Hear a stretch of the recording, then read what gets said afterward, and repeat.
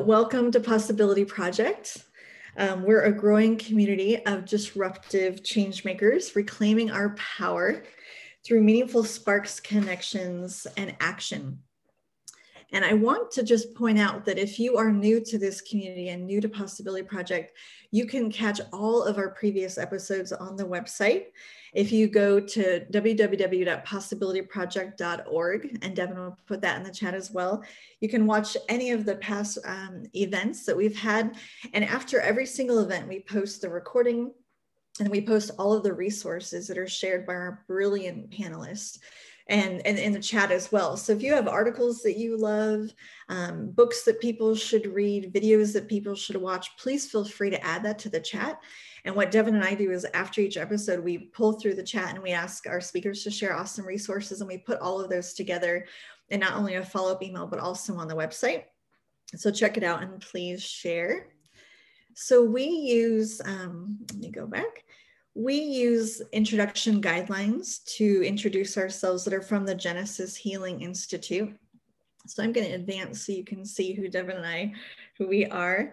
Um, so Devin is sharing the, the Genesis Healing Institute Zoom guidelines that we are using, but um, you are welcome to use it as well. You have full access to it. Nova Ren has offered that anyone can use this to lead off their meetings and get their activities started.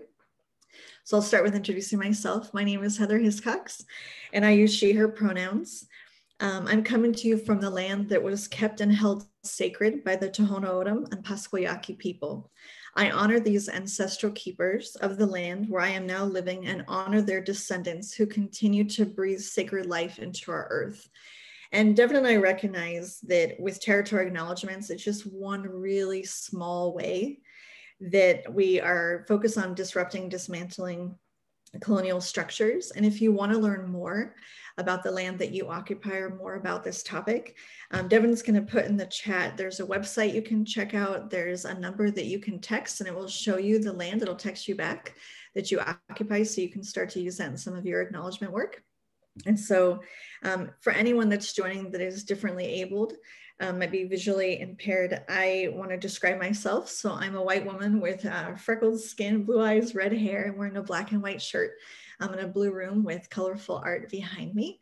Um, and we will produce a transcript using Otter, a very detailed transcript of all of the words that are spoken today. And that will also be shared as a resource if you would like to have that form of the conversation today.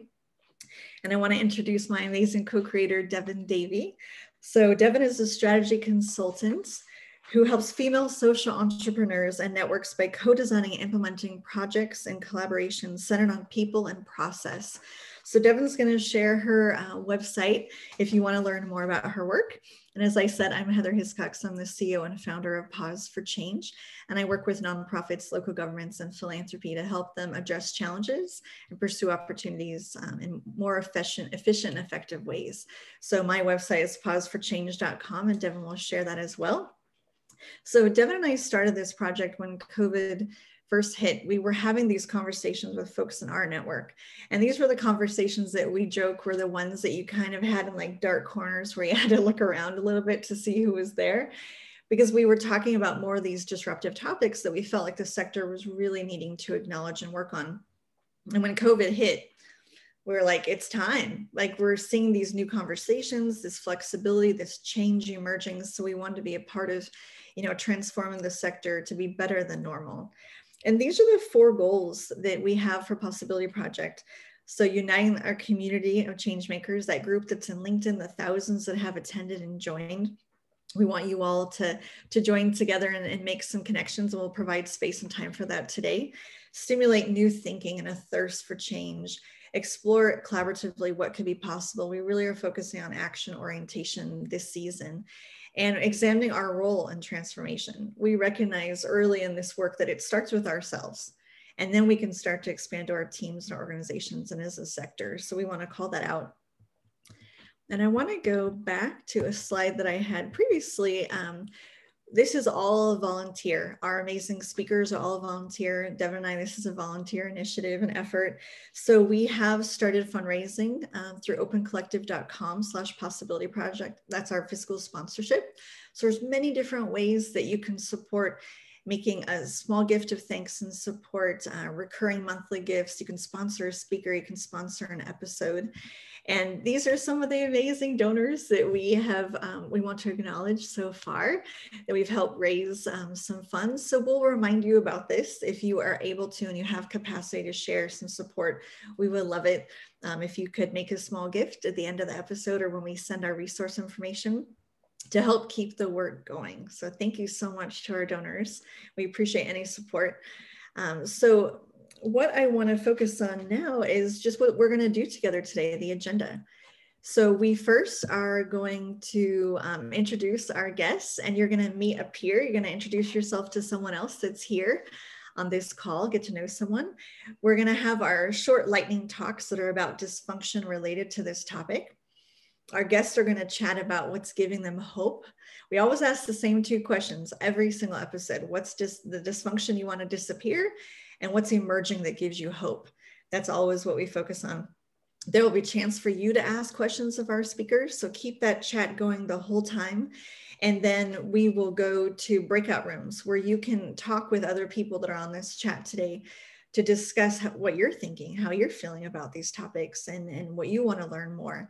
And then we're going to have our guests come back and give us some takeaways, and we're going to talk about our next episode. So that's what is to come. So I'm going to stop sharing now because we are done with the slide piece. Um, just to give you a little bit of context of where this topic came from, um, I had a conversation with a recruiter, uh, a white male recruiter, and we were um, talking about his work, and he was saying he's getting very specific requests of people that organizations want to hire. And the example that he provided was organizations will say, you know, I want a Black female CFO, very specific. And he says you know i did that person just does not exist. I there might be three women that fit that description in the country. And i thought really? What?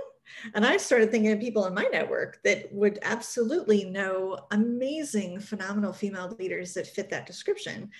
And it just got me thinking about white networks and about this whole idea of not having a talent pool to draw from of you know what diversity means in that conversation. So we wanted to really bring this to light and that's why we want to invite our amazing speakers. So um, i want to get started in talking to our speakers. And before we jump in um, when devin and i were thinking about this topic and when we named it we are talking about the talent pipeline. And devin did a great job we were having conversation this week, bring up this, the word of pipeline is problematic, especially to indigenous communities. And so we are going to rename this um, topic, this, this episode we're going to have today. So any of the advertising you saw before, we're going to change what the card looks like and what we're putting on the website. And we were talking to our speakers and we were talking about alternative words such as, you know, talent pool, talent funnel. So in the chat, I would love any feedback about ways that you talk about alternatives to talking about a talent pipeline because it's something that we want to honor we want to rename. So we wanted to just call that out and and bring that up and we love your your comments. Um, and so with with our guests we are a little bit different in how we do our introductions um, we have amazing speakers with the most impressive bios, which you saw in all the reminder emails that we sent, and Devin's pasting them in the chat. Um, but we'd like for them to start by telling us a little interesting story, something about them that helps us get to know them and get to just get a taste of what they're like and, and a little bit of fun to get us started. So I'm going to introduce them just with their basic title, and then they're each going to share a little uh, story, a little something about themselves. So the first person I'm introduce is Mary Morten. Mary is the president and Morten Group, and Mary's going to share about a travel challenge she experienced that she's still trying to live down. So Mary, take it away. Great, thanks so much. Hi everyone, I'm Mary Morten, and uh, my pronouns are she, her, and hers, and I'm here in Chicago where it is 80 degrees today. So it's very exciting. Um, so my travel story is, um, you know, busy consultant, traveling back and forth, often when we could travel, might be in more than one or two cities, maybe even three cities in one week. And um, I was on my way to the airport um, to go to North Carolina. Uh, and, and in Chicago, you can't take a direct flight to North Carolina. You have to go through South Carolina. Uh, I'm sorry, it's just a reverse. I was on my way to South Carolina and I was going to North Carolina first to make the connecting flight. And so um, I was meeting a, a friend there. Uh, we were doing a, a presentation. Um, and she she got to um, the airport before I did. She landed before I did. So as I'm coming off the plane, uh, I'm texting her saying, I'm here. I'm going to meet you in baggage claim. And she said, okay. And so I get down to baggage claim. I said, you know, I don't see you anywhere. And she said, well, I'm right here by the car rental. I said, you know what? My bag isn't here, which of course was enormously frustrating. I said, I'm going to have to go to that area where you go for, you know, lost l- luggage.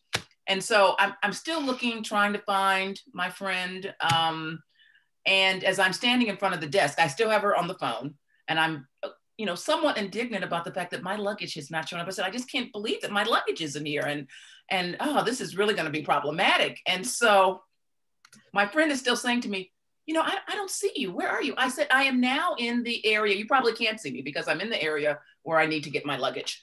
And um, the woman says, Can I see your ticket behind the desk? She says, May I see your ticket? She takes my ticket and she says, So, um, you know, you're supposed to be on another flight. You're in North Carolina and you're going to South Carolina. And in about five, four, three, two, you've just missed your flight. So I never made the connecting flight. For some reason, I got off the plane, went immediately to baggage claim, um, and of course was in the wrong state, not just the wrong city. I was in the wrong state. In the meantime, my friend, I can I can barely keep the phone up to my ear because she is just about falling on the floor laughing people are walking around her trying to figure out why is this woman laughing like this? Um, i had to wait for another flight. She had to come back and get me and she continues to talk about and this happened a couple of years ago and she continues to tell in fact she just told it last week. We were in a group of folks um, we hadn't been able to gather in a while and she told this story. So that gives you some sense of um, yeah just a very very embarrassing time um, and i haven't i've yet to live it down yeah. Oh my gosh. Thank you for sharing that. I think we've all had those humbling moments when we're like, no, where's my luggage? what is happening? And then we're like, oh, oh yeah. another have done something. exactly. Well, thank you for sharing that moment of vulnerability.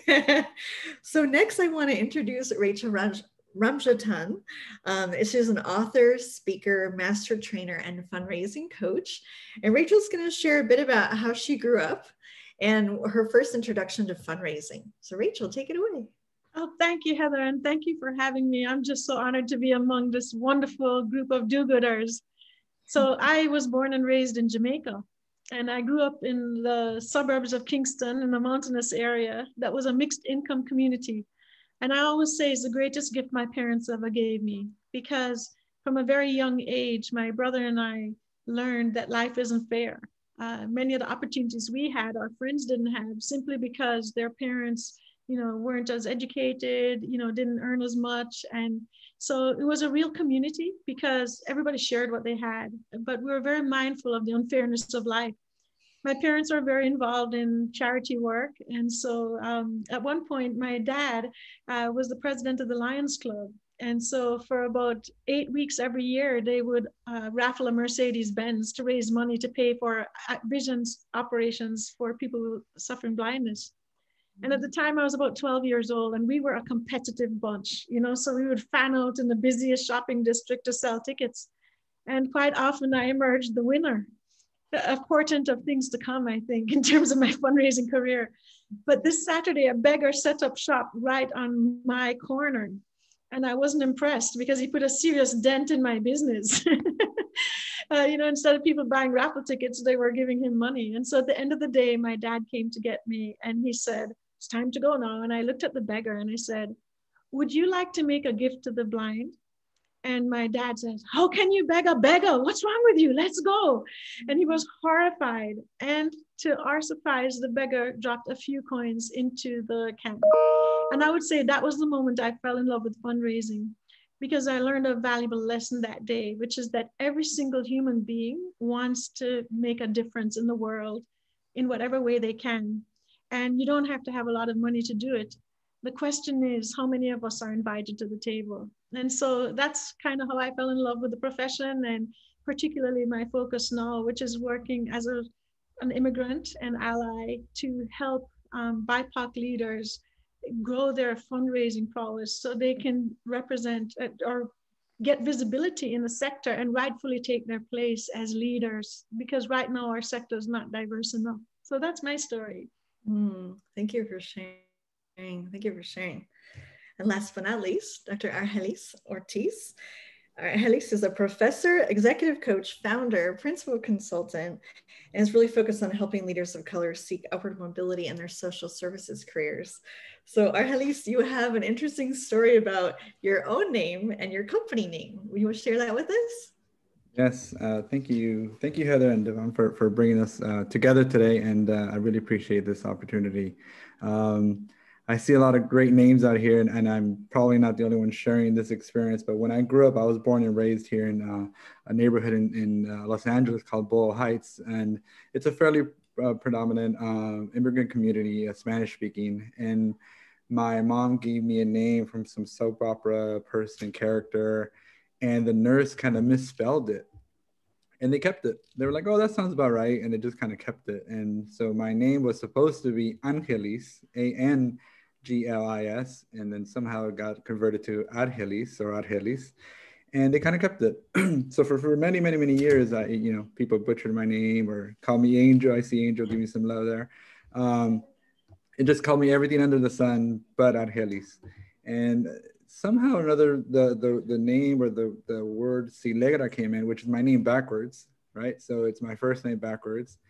And then people could say that all the time it just rolled off people's tongues. There was nothing about it. And I was like, how can you say it backwards, which is incorrect, but you cannot say it what I thought was the correct way.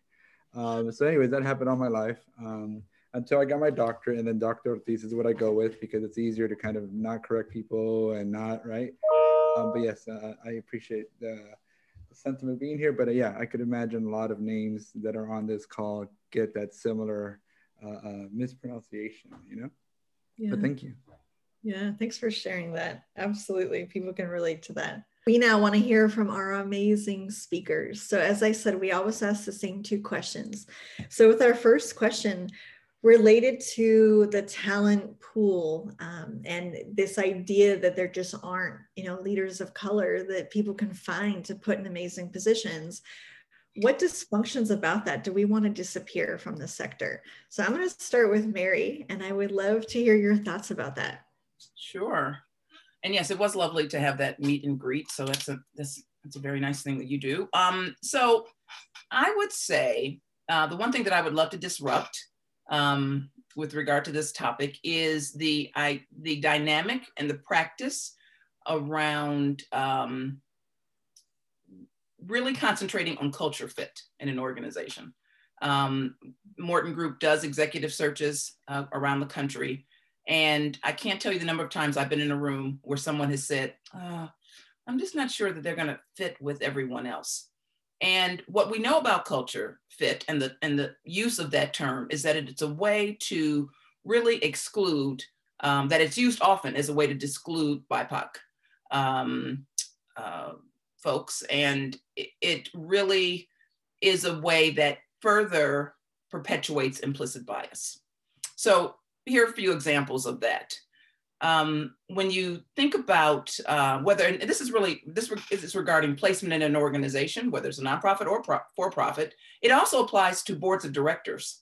Um, we often hear the same thing when we will ask a board of director, um, an organization where they don't have, a, you know, um, diverse members of, of the board. They only have, you know, they're, it, it's a white, basically a white organization, although they serve people of color. And we'll ask, well, you know, what have you done? What's your outreach look like? And when we ask, how did you get to the organization? And again, this happens on boards or in, in staff positions, they will say, I knew someone. I knew someone. And that is what happens. We tend to gravitate, and this is this is just how we're socialized, right? We we tend to gravitate toward people that look like us and or that we believe share similar experiences. And uh, when I ask a board member, how did they get to the board? They'll say, well, so-and-so recruited me. And so-and-so, by the way, looks just like the person I'm speaking with. Uh, similarly, in, in, the, um, in the staffing area, when we're talking about, um, um, you know, where you, where you looking for your candidates? And they will say, well, I put it on Indeed and I did X, Y, you know, I put it here and I said, well, so that's a very traditional way of looking for a candidate. And so what you really want to do is think outside of, of uh, what would be a traditional uh, search because there are in fact many, many qualified people of color available and waiting um, and seeking um, particular kinds of roles. However, there are not as many of us. So when someone tells us we need to do the search and we needed that person four weeks ago, we often will say, we're not the person to work with you. Because while they're saying they wanted it four weeks ago, they're also saying, by the way, we really need, we really need a person of color. Those two things don't match up. Um, it will absolutely take longer to find a person of color. Again, not because the candidates are not there, but because there are just not as many of us. So it's going to take longer. Um, and so when we get into the interview stage, sometimes people will say, well, you know, when the executive team interviews someone, we just let them ask whatever they like. We don't give them set questions. And that's a big ding. Everyone should be asked the same questions. If not, it is very easy. And often what happens is there's implicit bias that is just waiting to pop out. Um, and if you decide to have a conversation with someone about, um, you know, what you did over the weekend, but you don't have that same conversation with the other candidate, so you don't get a chance to see them in that particular manner. You don't get a chance to to really have an experience of them outside of the general Q&A of an interview. And what we know is that uh, when people say culture fit, people with hiring power really mean who I personally like or who reminds me of me. That's who they're referring to. So culture fit really relies on this, uh, what I would say similar to a chemistry game that doesn't really reflect real life aptitude. And so because we do um, diversity, and racial equity and inclusion work, it is very easy for us to see immediately um, where there may be implicit bias and where we would suggest having a conversation, maybe offline with the CEO, whoever's going to make the final decision. Because sometimes when you're doing a C-suite search, it may not be the, the president or CEO search. There's a, you know, there's a team of folks and maybe the executive team that's interviewing a candidate. And on many occasions, I've, I've had um, the, the interviewing team say, well, I just don't know if they're a good fit. So we've had to take that conversation offline and talk to the CEO about what this is really saying about his team. Uh, in this particular case, I'm thinking of a particular example, and to give them an opportunity to really put into play all the things we've been talking about, how you build more diverse, equitable, and inclusive organizations.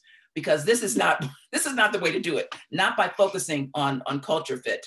Um, one of the things that um, this there's an, uh, a test that's been used over the years. It's called the airplane test, and something that happens in an interview.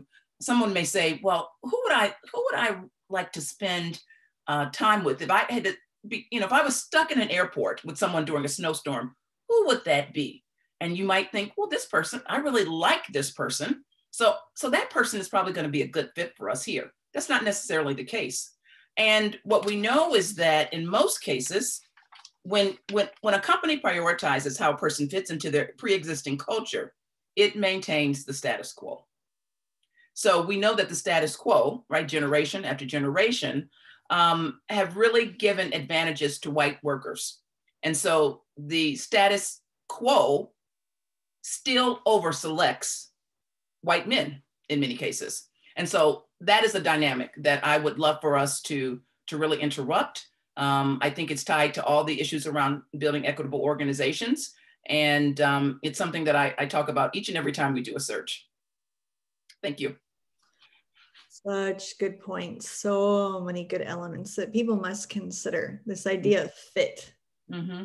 Like fit who whose norms? Exactly. Whose exactly. Like, whose exactly. image? Exactly. Oh, thank you. All right, Rachel, we want to hear about your thoughts. Like, what dysfunctions do you want to have disappear from the sector? Oh, you're muted. Oh. Yeah, there are really two. Uh, the first is that um, capacity building or leadership development, especially in the nonprofit sector, tends to be led by foundations that provide funding for that. And it can be a little bit dicey in terms of a one size fits all approach in that um, certainly the way I learned fundraising coming as an immigrant that grew up in a predominantly black country, uh, it was a totally different ball game here. Um, in America, the the way they teach you is tends to be based on the experience of the white community. So, for example, the initial contact with the donor is a gift, and then you build a relationship with that donor. Whereas uh, where I come from, and in communities of color, there has to be that relationship of trust first before you can ask for money. And so I think one of the challenges we have in the pool is that there's a lack of culturally relevant capacity building training for BIPOC leaders in, that recognizes the history, the trauma, etc. And then the second piece of it is that um, organizations led by people of color have, I think it's 18 cents on the dollar of net unrestricted assets of those that don't. And when there is money that is given, it's given with more strings attached. And so there's chronic underinvestment in these grassroots organizations and leadership training simply because there's a lack of funding. So that's the second thing I'd like to see change. I would like to see BIPOC led organizations get more funding so they can invest in the personal development of their people in the kinds of training that they feel would be helpful to them. Mm, thank you. Yes, so important. The investment, if you, there's so many reports that have been coming out and really showing the true the true impact of the lack of support and organizations led by people of color and what that looks like. I mean, there's no denying it, right? The data is there. Absolutely. Okay, so Dr. Ortiz, we want to hear from you, um, from your experience and your awesome work. What do you want to see disappear from the sector? I think that disappear is going to take a while, but the, the two thoughts I have are um, for sure, I think it has to go back way, way, way back, even we, before we think about careers in general. I think we have to talk about our, our family systems and we talk, have to talk about our expectations we have in our children, uh, speaking from a, a, parent or a father, but also what cultural sort of expectations we have for for our next generation, right? I I go back to when I was growing up. Um, maybe a lot of you, right? But there was only three careers you could do. It could be a doctor, a lawyer, and police person, right? Or doctor, lawyer, fireman, or doctor, lawyer, and teacher, right? There, so there was only a combination of these three roles, and everything was geared toward those three careers. Uh, but we know that it's, it's way more expensive than that. But as a, a, a, person of color, you're really not thinking that. You're really thinking like, I, am gonna uh, uh, really, really achieve the stars and be that doctor and really achieve everything and be that lawyer, although there's way many other opportunities to do and go out there.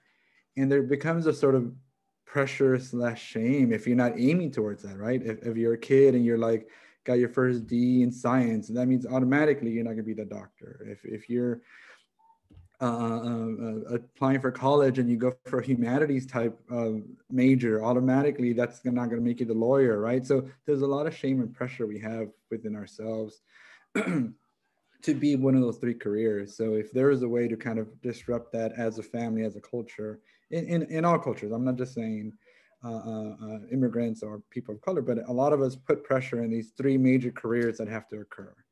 Uh, so if that was a way to sort of you know expand that, uh, th- there's a lot of careers out there like social work, like teachers, uh, therapists, etc., that exist that are awesome. Uh, um, but there's also a lot of roles out there that haven't been uh, invented yet, right? There's a lot of roles out there that are yet to be uh, created, and and my belief is that um, if there is a way to encourage our, our youth to be kind of uh, critical thinkers and sort of uh, ambassadors for creativity, et cetera, then the roles will come to them as opposed to us trying to fit the mold into three opportunities, or three careers.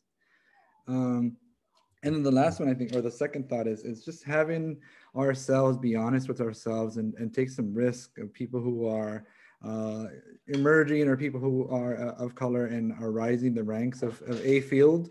Take that risk. Take take the next step right? If if you've been comfortable at the manager level become the director. If you've been comfortable at the director level go for a C-suite role. If you kind of know you have an expertise in something, apply for a board, right? Like like we have to push ourselves because, as I often say, uh, invitations are not given, right? You have to bust the door open and go in there sometimes so you could uh, uh, be noticed at, at, times. So those are two train thoughts as we're hearing uh, uh, Mary and Rachel talk that that we got to go back to how do we support our family and our youth, and then also how do we risk and how do we take bigger risks for ourselves so then we can pave the way for others and, and we could be that that role model that uh, that hasn't been uh, as amplified yet, but maybe we could be that. I love that. Thank you for sharing. Yeah, we talked in our speaker chat about representation. Who, who do you see? Who you see in the roles of leadership? And what does that mean that you can become? And in many ways, how does that reinforce how white folks see themselves, that they see who has leadership positions? Is, is really interesting dynamics. So we want to make a shift and and please comment in the chat anything that you want to see disappear. Add add to what they've shared. And we want to talk about what's emerging and giving each of you hope. So what what do you focus on for the future that you think we can do differently? Like what individual actions can we take? What can we do as organizations, as leaders and emerging leaders? So Mary, I'm wondering if you jump back in and tell us what's giving you hope and what we can do better. Well, picking up on what you were just saying in terms of representation, um, something we often uh, talk about are possibility models, right? Who who are we seeing that makes us understand we can do that as well? And so I, I think that's an important piece.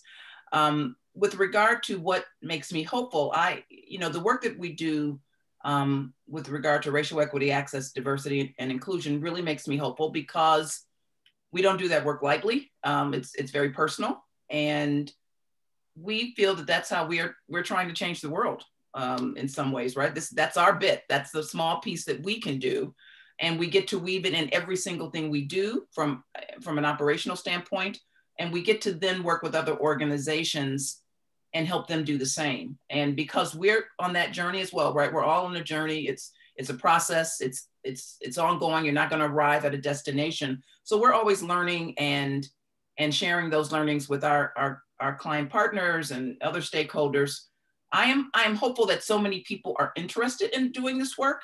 Um, we've, you know, just had to really uh, increase our staff resources because um, we were on, we've been on a tra trajectory, I would say, since 2016. However, uh, certainly in the aftermath of George Floyd being murdered, uh, people have a different understanding about race, about the threat of anti-blackness that runs through this country and um, are talking about it in a way that they've never talked about it before. COVID actually has helped lift that up, I think, because um, you know we talk about the what social determinants of health and where people work and play and live. Those have always been very um, uh, different for folks of color, and I'm just happy to see that it was something more than a, a 24-hour news cycle. That we are still talking about the disparities that have been lifted up in a deeper fashion because of COVID and because of the racial reckoning that that started uh, in in a very different way. I mean, it started years ago, but in a very different way this past summer. Yeah. Yeah, Argelis or Rachel, please add add what you would share. What giving what's giving you hope? I think there's quite a bit of hope out there. For one thing, the funders of nonprofits. So a lot of foundations around the country are taking a look at their grant making practices through the lens of diversity, equity, and inclusion. And they're really making strides or taking serious efforts to try and root out implicit bias and prioritize funding for BIPOC-led organizations. And you see it in different ways. So for example, there's a registry uh, that has been started where if you are a BIPOC leader that has founded a nonprofit, they ask you to add your name to this registry of nonprofits. And foundations are looking at this list so that they can reach out to nonprofits that they may not have encountered before that align with the sort of issues that they're working on. Second thing that gives me encouragement is that typically uh, whenever big moments like this happen in history, uh, the people who benefit tend to skew white. So the white consultants get the work. And so there's recognition of that as well. And another registry has been created um, that, and, and we're asking lots of people who are consultants of color, add your name to that registry so that those that are looking to hire consultants and wanting to give priority and don't have in their personal networks have a place to go where they can look outside their networks and get creative, like Mary said, in terms of how we search for talent. And then the third thing that's giving me hope is really more on a individual basis. Um, you have to assume that other people's networks don't look like yours. And Heather, when you said that to me, both of us have networks that are very inclusive. And I don't think I realized how much I took it for granted until you made that comment. And I thought, you know, people are always asking me, who do I know? But I'm sometimes reluctant to offer people up in a sense that are you looking just to interview somebody of color? So you can check the box to say we interviewed somebody of color or are you looking to hire somebody of color who maybe needs a little more support because they haven't had the exact experience that you need. I mean, coaching is so inexpensive. And, and so I have to make that judgment call. If I'm working with an organization that's truly interested in developing a leader of color, I will absolutely offer up my network for that opportunity. But if they're just looking to check a box and text, uh, waste people's time, I'm not going to do it you know and so with my work um, what i've chosen to do is really partner with foundations around the country to provide fund development training um, to bipoc leaders particularly uh, in a culturally relevant context. And i recognize my privilege. Um, i can be that connector because i've had the immigrant immigrant experience but i also have to recognize that the way i look people assume i'm white. And so, you know, it's, I, I, see my role as a bridge builder then to help people of color that learn to fundraise the same way I did and had a lot of the same experiences I did, learn that you're not asking people for money. You're freaking giving people the opportunity to change the world. It's a privilege for them to work with you, not the other way around, right? And so when we can get that mindset shift and and reduce the trauma and help people get into the frame of mind of you know being in the power position to make the ask. I think that's a game changer for everybody. And with that comes recognition that um, people of color have trauma. They resist they experience prejudice at a far greater rate than the rest of us do. So that's my little contribution to the world is i, I feel it this way. You, um, i want to help nurture a pool of talent, of fundraisers of talent that can take leadership positions because they don't need to go to people like me. People are the people in leadership positions need to reflect the communities we serve. And I want to make it so difficult for somebody to say we could only we couldn't find anybody to recommend, you know, because there are just not that many of us. There's plenty of us. So find the people who are passionate, help them uh, do pursue their dreams, and that's the way we're going to change the sector, one person at a time. You know, lifting up opportunities when we can. I love that. I love that. Argelis? Thank you, Rachel and Mary. I, I both of those brought great examples of sort of personal experience that I've gone through, but uh, sort of what brings me hope is that um, I have two two thoughts. One is, uh, uh, as a professor, I'm seeing kind of the next wave of, of social workers or emerging human service professionals really question a lot of things, right? Well, why is it like this? Why are we still doing it this way? This looks antiquated.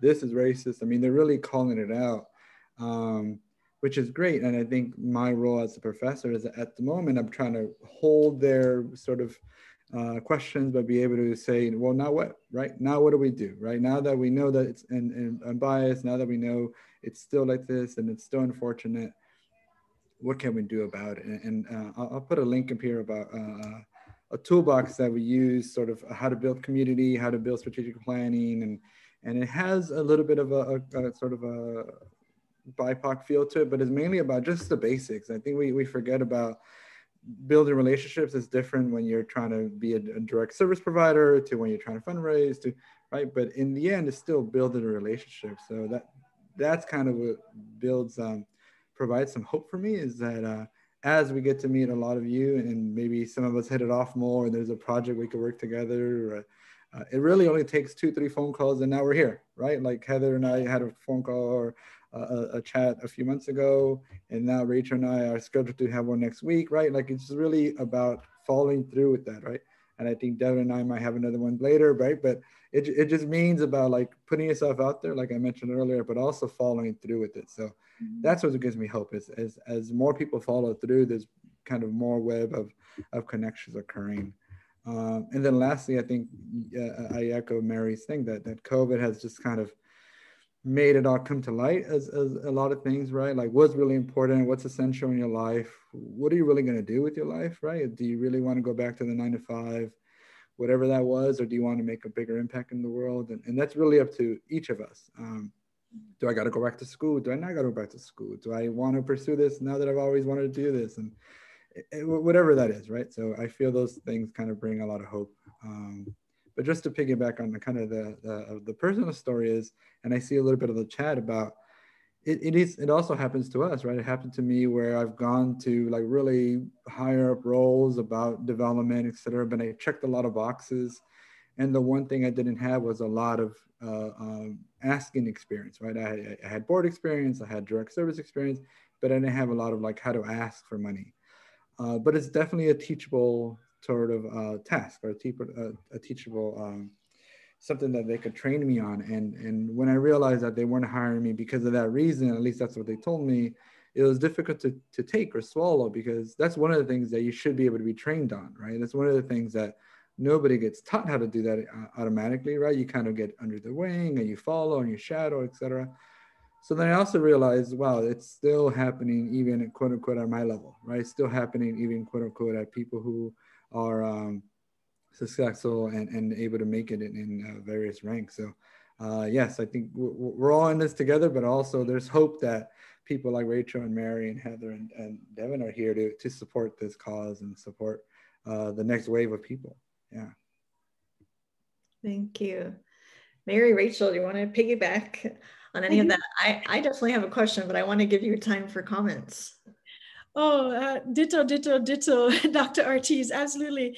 But Sadia uh, asked a wonderful question in the chat that I want to raise up. You know, what, uh, she says, I'm curious what thoughts panelists have around what accountability on these approaches would look like. And especially, especially considering that a system manifests processes and behaviors and decision making that requires maintaining the status quo. What can accountability look like and how can it be implemented? You know, I, it's interesting you asked this question because uh, in my last employed role, uh, I was very involved in speaking truth to power and saying, look, uh, there are biases built into our processes. So I think the first thing would be uh, to kind of make a decision to see and, and raise the point is this something we as an organization want to do? If it isn't, then guess what? Uh, I'm not sure I really want to be part of that organization, right? Uh, and if it isn't, then no matter what you do, you're never going to be able to push that boulder uphill by yourself. Uh, so that's the first thing accountability yourself and making sure that you are working for or with organizations that align with your values. Uh, second, if there is a desire to, to make progress and to really take a critical look at things, how can we make sure that the people taking that critical look reflect all perspectives and that there is some commitment commitment to what the outcome of that process looks like? Are there going to be recommendations that are made? If so, what is going to be the process for whether we adopt those recommendations or not? So I think that answers uh, that portion of the question. And there was one more question in the chat that I just wanted to comment on was, how do you know um, when when to hire a person of color with the kind of supports they need? When is it too much? And you know, I respectfully will answer a different question that is going to give you the answer to that question. Uh, for me, I always ha- hire for passion for the mission. If somebody is passionate about the mission, and uh, you can teach them whatever they need to do to do the job. And people who are passionate about the mission tend to stick around much longer than those that don't.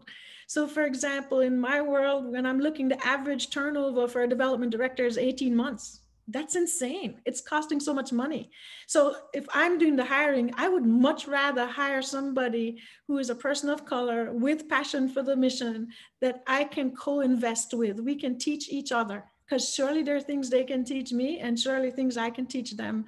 And there's coaching available. So I would say look at it not in terms of the cost of the support, but it's an accommodation you make to make sure you have a diverse workforce, just like it is that you have um, hearing apps for people who are hearing impaired or ramps at the front door to make sure people who are in wheelchairs can enter your building. And so if we flip the way we think about that, I think that's what's going to drive real change. And I, I, agree with everything you said, Rachel. And and I would just add that um, I think sometimes it really comes down to people understanding the difference between equality and equity. Um, you know, for so many years it was like we just want to be equal. We all want to have the same thing. Well, you know, here's the headline: that I think many, many of us know is we didn't all start from the same place. So we're going to need different uh, supports to be successful. And if you're really committed to equity, uh, so for instance, when we do an executive search, an example is we always put in that a new CEO or uh, uh ED should be going to um, a, a, an ED or CEO boot camp, for instance, and they should have an executive coach. Um, similarly, when you're an organization, and this happens a lot to people of color, um, someone will be promoted because they did well in that position. However, they're promoted and then they're given no supports at all. It's like, well, you got here. I hope you can maintain. And that really sets people up for failure, not for success. And so understanding equity and what it's going to mean in your organization is critically important. And um, really, what will you do to make sure that people have the access and the resources so that they can be successful? That's what equity looks like. So when we started a number of years ago and I made a commitment to hiring younger folks, that meant folks right out of college who, guess what? Nobody tells people how to show up actually at work coming out of college. They often don't have the appropriate clothes to go maybe on a client call. So I, I bought those things for people because it was important for me for them to have those experiences. I really didn't want people to be um, thought about as just being a support staff person when there's so many other things they could offer. And the only way to do that is to show up in a particular way. And the last piece, I'll just say that some of the things that we're talking about really we have been socialized because of white supremacy culture, right? You know, we needed it last week, we needed it faster. And by the way, it needs to be perfect. And um, we've just got to call that out. We are all we're all socialized that way, and we have to keep really peeling peeling that back and pulling back from that. Um, it's a muscle that we have to learn how to flex. Is what I would say. Oh, all great points.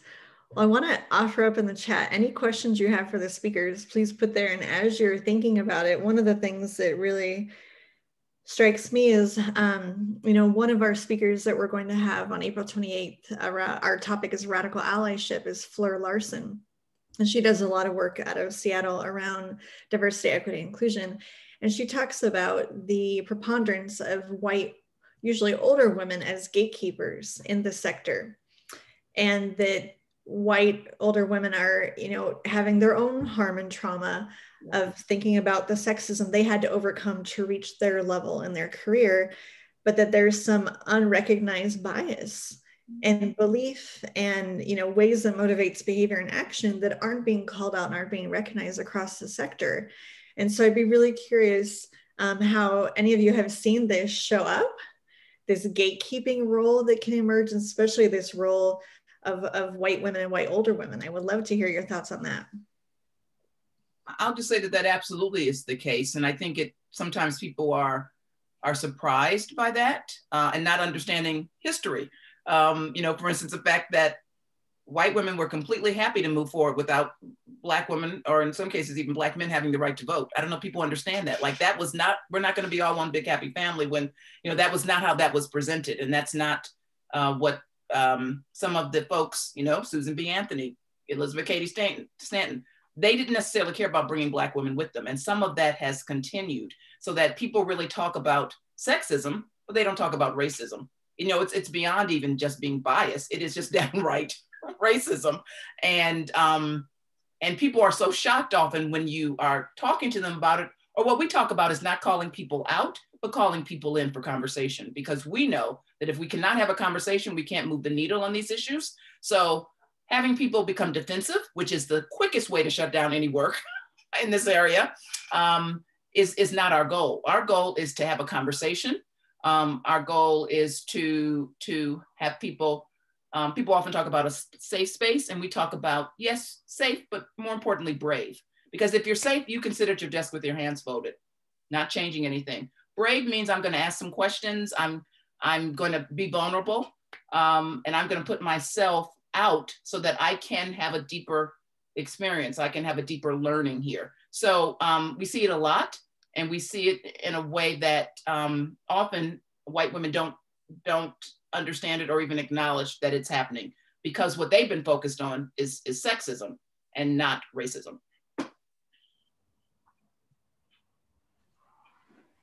Heather, I was I was counting kind of my past three or four roles, kind of C level or VP level roles, and they were all either uh, a referral or a hookup from a, a sort of a like you just mentioned, an ally who was a white woman.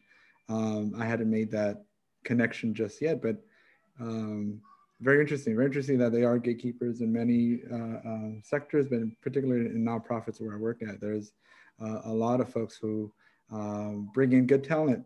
And, and I go back to um, the only way, the only reason I met these women in particular is because I put myself out there to, you know, show that I could do it, to know that I was actually a, uh, play, play, play the game, et cetera, et cetera. But then I also realized, wow, they had they hold a lot of power, even if it's not the hiring power, but they hold a lot of influence on, you know, who should look my way, how should I be treated, et cetera. So, yeah, I had to make that connection. Thank you for for bringing that to light. There, there's a there's a powerfulness in, in knowing your allies, but also, you know, having the transparency that is a, a relationship of, you know, who's who's this going to benefit, right? Yeah. And the other question it brings up for me is this idea of belonging. And I'm curious how it shows up. You know, you you have an amazing pool of candidates. Maybe a leader of color is chosen for like an executive position or a role within an agency. You know, Mary, you spoke to like you've you've kind of sussed out like what's really going on in this organization, but beyond executive coaching to prepare them for the work, is there what can organizations do to have a culture of belonging where everyone especially new hires and you know folks of color that are taking on roles and all levels of diversity right? If they're transgender or they're you know different differently abled how can organizations create belonging? Mm-hmm. Well i think one way is the onboarding process is extraordinarily important in all organizations for all levels and it is important when someone is coming into an organization that, that they feel welcome. And, and that, may, that may sound really simple. Uh, however, I, I could, countless times I've heard from folks that said, when my first day when I showed up, um, you know, when we were working in actual offices, most of us, um, I didn't have a phone. Uh, my laptop or computer had not been set up. No one seemed to know what to do with me. Wow that's how someone is coming into a place, into an organization. And let's also then compound that if they're an underrepresented person in that organization. So they, they're not starting off in a way that makes them feel included. And this idea about diversity, equity, inclusion, you know, diversity is, you know, all the many, many indicators, as you've mentioned, it's just not about race. It's just that race is the most obvious one. It's everything from sexual orientation to physical ability to economics. Um, inclusion is you invited me to this organization and am I going to feel validated? Um, you know, similar, you know, I was invited to the party. Is anybody going to ask me to dance? And and equity, or or maybe dancing is not even appropriate for me, right? Because I I have um, disability. And then equity is this idea again, as I said, how do we meet people where they are to get them what they need to be successful? And so if that is not thought about in every level of an organization, when somebody is being onboarded, that person is not going to feel that you know they're included. And and so how people are introduced, how they're mentored. Mentoring is different than coaching, by the way. All the all of these inputs, if you will, really will lead to a successful outcome. And when we don't have them, this is why people will come into an organization and this idea of, of them trying to fit the culture. No, the culture has to be inclusive. That's what we should be trying to work on. If I could tag team on what Mary said, um, I've also been in situations where you see a BIPOC leader become part of the team. The intention of the team is to become more inclusive, and yet the BIPOC leader themselves isn't aware of their own, aren't aware of their own implicit biases sometimes. So I think for me, we all have implicit biases. Me as an immigrant, me as a white person, me as a daughter, me as a mother. I mean, we're just loaded with them, and we don't unless you've studied yourself, uh, which a lot of people don't take the time to do, you're not aware of them. So for me, if I take a step back, part of making people feel welcome is creating shared experiences that can help each person uncover their own implicit bias and how that might be expressed in the workplace through the assumptions we make about people or the lens through which we see things you know and so i fully agree with you heather that um, it's difficult when white women are the gatekeepers and many of them themselves have had not had those experiences. But i think those of us that are looking for jobs when we start asking questions you know like tell me how do you invest in the personal development of your individual staff members as well as team building for the whole group? That speaks volumes to how woke that organization is. To are they really walking the walk or are they just talking the talk and for me, before I'll work with an organization, I'm tired of beating my head against the wall. At this point, it's about figuring out what flank I can make a dent in and then go there. So even with every one of us has to ask that question, um, we have different roles to play. There are people like Vu Le, who are out there speaking truth in a way that is provocative and absolutely truthful, not necessarily translating into reality in the sense that if we follow what he suggests, you know, your organization might become extinct by the time you make a transition. And so there need to be people like me who are working at a very practical level that say, look, the, the injustice is there, but we're, and just as Mary said, we're not going to make a dent by closing down the conversation and making people defensive. So the question is, how can we who are woke put ourselves in uncomfortable positions with people who need to be woke, find some common ground with them by meeting them where they're at, and then opening up that discussion and experience so it can be a heart experience. Because the problem is, I think the minds rule the heart, you know, and, and it is a difficult balance between the two, you know. Any other thoughts from our speakers? And Devin, if you have a question, um, definitely lift it up from the chat or any question you're thinking about, jump in. I, I just want to add uh, that um, this idea that uh, Rachel just raised about our um, uh, BIPOC folks and internalized bias or internalized racism even. Um, I think it's an important piece to raise um, because there's an assumption that when you put a person of color in a role, particularly when people are really thinking about optics, that, that is really important to them. that you don't do, an organization uh, may not do their due diligence around whether or not that person really does get it. Because there's an assumption because you're a person of color, you have that shared experience. You understand X, Y, and Z. And let me tell you, that is not the case. You know, experiences are different across the board. Um, and everyone doesn't understand um, um, all of the various experiences that that let's just say black folks have had. So when i was and i've been the first or the only in many cases and and we're you know black folks are not monolithic. What a shock. And so please don't make me represent every black person you've you know and every idea. That's that's not particularly fair or, or appropriate. And so acknowledging that we have our own work to do around bias uh, and that we've taken in so much negativity um, that of course it's going to show up somewhere and we have to actively work against it as well. I, I, definitely agree, Mary. I also think that that once we make it there to whatever there was or is, whatever ceiling we broke, uh, it's it's kind of romantic to kind of speak for everybody. Wow, I made it here. Now let me share what I've always wanted to share. But yes, it, it and it does take practice to kind of sit back and listen and be humble and say, you know what, I, this is what I experienced, but I, I, was also a youth, you know, 20, 25, 30 years ago, right? I'm not a youth anymore, right? I also lived in that neighborhood, but no longer, right? So, so it takes a lot of courage for one to make it there, but also to acknowledge that, that even though I do represent sort of at the moment what I am, but I don't represent the current culture or what's happening. So let's go ask. I think that's, that's, probably what my people or my staff um, often said is like, you always say, let's go ask. Well, yeah, it's because I have the answers in my head about me, right? But I don't know about everybody else. So let's just go ask, right? We always forget that, that there's a piece about going to go get the current sort of status or the current uh, um, pulse out there as opposed to going back to my memory bank and saying, well, I wish this would have happened, right? Because, you know, totally different from my upbringing to what's happening now. I love that. That's such an important point. Devin, do you have any quick questions before we go to breakout rooms? Oh, there's so many awesome questions. Um, and I think we should move to the breakout room shortly. Um, maybe I'll just share a couple and if any resonate with you all or you wanna address them in the chat um, as we're moving forward. Uh, there's a question from Sadia and forgive my pronunciation if it's wrong um, or please correct me.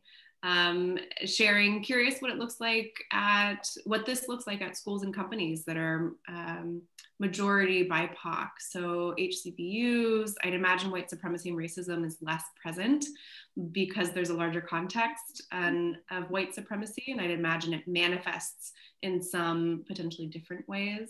Um, and then uh, I think you all address some of the questions. There was one early on as well around um, do y'all have recommendations for equitable introductory prompts or questions for candidates um, tagging onto the onboarding question of helping people feel welcome? What does that actually look like tactically? Mm-hmm. Well, I'll say, I'll, I'll start with that last one first in terms of uh, a prompt, something that, and this is, this also has to do with then has the person interviewed in a while? Because one thing that we can tell is when somebody has not been on an interview in a while, right? Because when you, one, you should rehearse. Let me just say, you really need to rehearse if you're going to be, you know, if you haven't interviewed in a while, and maybe even if you have, um, to understand that having really clear examples as you talk about your work is very important, and not just speaking in generalities. And so when we start with the question around, tell us why you are interested in this position at this time that gives the um, candidate lots of room to talk about their work and themselves in a broad manner and to then bring it back to the role. And that is essentially what we're looking for. Um, and so, really trying to have more open ended questions so that people have some ability to, um, to just talk more broadly about their, their experiences. However, you can't leave it there. I just want to say for those folks who are you know, contemplating searches or going through searches, you must have clear examples of the accomplishments you've made. That is what is going to distinguish you from other candidates. And that's what generally interview teams are looking for. Um, and so asking a broad question that then can be narrowed is how we would suggest you you see the most of someone, if you will. Um, and we, you know, we will also ask questions about um, if, the, if the interview has felt uh, particularly heavy or serious, which they generally are, we want to see someone uh, in a lighthearted moment, similar to what we did here today, right? You have our resumes, you, you have our bios, telling a story about ourselves, right? That um, certainly in my case was not particularly complimentary, uh, opens you up in a particular way, right, to the room. And, and so being able to acknowledge where you've had some lessons learned, not failures, but lessons learned um, is really, really important as well when you're when you're leading with prompts and when you're responding to them. Um, and asking those kinds of questions because it used to be, and I don't know if you, you know, when when I was coming out of college, it was well, when someone asks for your weaknesses, you don't really tell them a weakness. You tell them something that could really be construed as a good thing. So what what people I think used to be coached uh, in saying is, well, I'm a perfectionist because who wouldn't want a perfectionist? Well, actually, that's part of white supremacy culture, big time. and so um, there, you know, still many folks who won't recognize that, who don't understand that, and that's what they will say. And what we try to coach our candidates on is you need to have an example of when something didn't go as as you planned, and don't please don't say something like I'm a perfectionist or you know I I'm a workaholic. And and yes, you might be. However, right, it's got to be something more than that, and it and it can't be one of those examples where well, who wouldn't want someone who works hard? Who wouldn't want someone who's a perfectionist? Um, actually, that does not serve you well as a leader. And during this time, you know, if you're a leader that really manage, manages and leads more with your head than your heart, uh, then our suggestion is you try to flip that, particularly right now when people are frustrated, overwhelmed, have lots of mental health crises that we don't even know about if we're the leader in an organization. How are you checking in with your staff? Um, all those are really important. And it's important to be able to articulate how you've worked with your staff as well. So I'm going back and forth as, you know, the folks who ask the questions and also how we coach the folks who are in the process. And it's, and it's important to think about the process in a, in a holistic manner.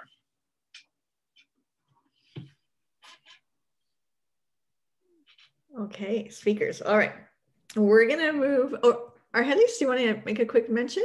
Yeah, quick one. Um, when we were doing more sort of uh, in-person interviews, I would try to set up opportunities to see the candidate in the wild, right? I would want to them how they treat the receptionist, how they treat the, the gardener who parked them by. I would purposely put a, a family who had like a rambunctious kid or sibling set in the waiting room to see how they related to that. Because I needed to see them in their element at all times and not just when they were in front of me interviewing, right? I needed to see how they were going to react. Uh, and then I would gather info from everybody. Hey, you know, how did, how did that person greet you? Never looked at me. Signed the sign-in sheet, never looked up. That's right uh, what how did they deal with that kid was kind of like kicking them in the back with a seat like well you know she kind of stood up and smiled and walked away so so these are all great kind of uh, insights that are not going to come in in a sort of standardized questionnaire so I, I like to put people in the wild as much as i can when i'm doing hiring but also opportunities to whatever phase they're at in the interview process to put them in the room with the consumer right with somebody who's actually they're going to interact with either eventually on the day to day, because that's going to give me some insight. Like, you know, I get to quote unquote test if they really know the language. If they say they're bilingual Spanish, then I want them to, to interact that way. If they say they know Tagalog, then I want them to do that, right? So put, put them in the room with people that they're going to work with so, so that I could see that sort of interaction. Uh, because ultimately, right, I'm going to give them the keys for the house or the car, and they're going to start driving away, and, and I won't be able to see them. So mm-hmm. I got to feel comfortable that they know how to do that. So I got to put candidates in the wild as much as possible. That's that's my sort of insight. If, if you guys want to do that. I love that. I love that. Such great advice. Thank you so much for sticking with us and being a part of the breakouts and meeting some folks. And thank you to our amazing speakers again. We we literally could not do this without you you you create such um, beautiful um, just wisdom for this community that we can reflect on again and again and many people do watch the videos again and again for inspiration and support so thank you all for joining and we hope that we'll see you on april 28th to talk about radical allyship and Devin and I have a huge list of amazing topics to come. So we hope that you will keep accepting those emails and joining this community and let us know if there's anything we can do to help and connect and connect with everyone you have here. Thank you so much. Before we go, before we go, I just mm-hmm. want to thank you and Devin for your leadership in leading this brave conversation and inviting each of us to share our stories and inviting us to connect with each other in the breakout sessions. You know, these are the kinds of things that change. So I just want to lift you up and say I'm very proud to be a Possibility Project donor because I want to see more of these conversations coming. So thank you so much. Rachel, it's our honor. It's really our honor. Thank you. It is. Thank you so much for your support. All right, everyone, we'll see you next time. Have a beautiful rest of your week. Bye bye.